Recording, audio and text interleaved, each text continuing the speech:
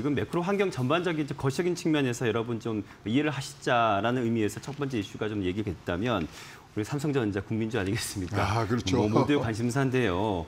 뭐 5만 전자까지 뭐좀 사실은 추락했다가 최근에 이제 외국인들 매수세 다시 들어오면서 지금 오늘 지금 상황은 6만 1,500원 선에 지금 현재 거래가 되고 있습니다. 네. 지금 최근에 SK 하이닉스를 비롯해서 삼성전자 뭐 반도체 업황에 대한 우려감이 조금 불식이 되고 있는 분위기인 것 같아요. 어떻습니까? 오, 지금 보면 5월 달까지, 아, 뭐 6월 달까지도 다 이제 순 매수를 하셨었어요. 음. 그러다가 이제 7월부터 들어오시면서 순 매도가 들어오는데 지금 뭐 잘 아시겠지만 삼성 주가라는 게 아, 6만 7천 원 전, 6만 7천 한 500원 정도에서 평균 단가가 돼- 지금 물려 있거든요. 네, 네. 그러니까 거기 많이 지금 뭐 이 뭐 소위 말하는 어, 걸어 놓으신 분들이 지금 많으실 거예요. 그래서 만약에 아까 말씀드린 6만 5천 원을 넘으면 한 번 더 출렁합니다. 내려옵니다. 그때 많이 파실라 그러는데 그런데 삼성 주가에 대해서 이제 앞으로 어, 많은 영향력을 미치는 이제 사건들이 지금 어, 기다리고 있거든요. 네. 그래서 지금은 사거나 파시는 것보다 홀드하고 계시는 게 훨씬 더 어, 좀 좋은 부분들이 아니겠느냐 네. 이렇게 보여집니다. 잘 아시겠지만 어, 미국의 반도체 지원법 이거 어떻게 돌아서 나오느냐를 보셔야 됩니다. 그래서 지금 상원을 통과를 지금 목전에 두고 있습니다만은 이거 하원까지 또 가야 돼요. 근데 하원에서는 지금 어, 반대를 하고 있는 어, 기류들이 더 많습니다. 네. 그래서 그거 한번 보셔야 되고요. 네. 그다음에 이제 반도체 동맹 칩4라는 지금 미국이 새로운 이제 이 뭐 반도체 생태계를 만들기 위해서 네. 한국, 대만, 일본 어, 그리고 어, 미국 이렇게 사개국을 하고 있고요. 어, 놀랍게도 지금 어, 요번 주죠. 요번 주에 지금 미국과 일본이 어, 2 플러스 2 외교 경제 장관 회의를 지금 하고 있는데 여기에 주 안건이 취재를 해본 바에 의하면 이 반도체 동맹을 어떻게 갖고 갈 것인가라고 지금 어, 나오고 있어요. 네.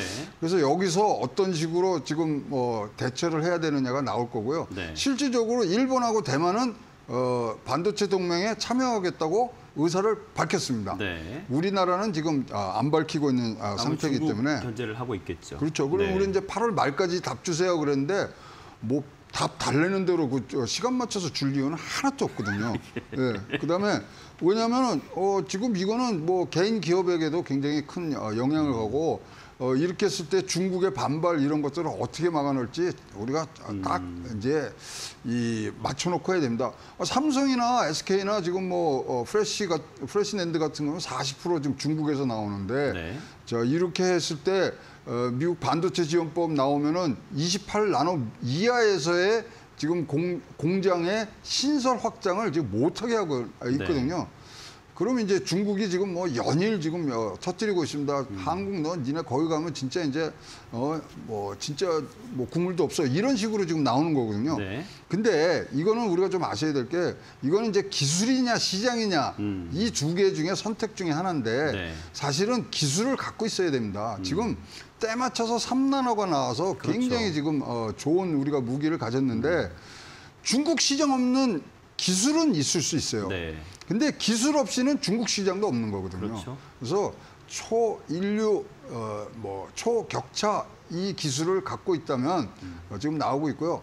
지금 뭐, 어, 뭐 정부 사이드에서 나온 얘기는 지금 역제안을 했다는 네. 얘기들이 지금 나오고는 있습니다만은 8월 말까지 우리가 뭐 어, 시간 맞춰서 할 것도 없고요. 업계의 의견이랑 다 들어가고 국익에 딱 맞춰서 이거는 결정을 하셔야 되는데 네. 저 개인적인 입장은 일단은 들어가야 된다고 생각합니다. 네. 근데 절대로 양다리는 지금 어려운 상황이기 때문에 음. 시기와 뭐 여러 가지를 고려를 하시되 어, 기술에 있어서 어느 정도 우리가 우위를 지속적으로 갖고 있느냐를 판단 기준으로 놓으시면 어, 이 또한 굉장히 좋은 어, 우리 반도체 전반에 네. 그리고 삼성전자 주가에는 어, 좋은 어, 이뭐 세력으로 네. 힘으로 지금 작용할 것으로 보여집니다. 안 그래도 뭐 저희가 그 좀 후반부 가서 여쭤보려고 했던 걸 미리 말씀해 주셨어요. 지금 우리 호재로 받아들여야 될지 이 법안에 대해서 미국 네. 그 반도체 지원 법안하고 치포 관련해서도 이게 호재일지 악재일지 특히 중국기 신경 쓴다면 악재가 또 어떻게 될 수도 있는 부분이 있어서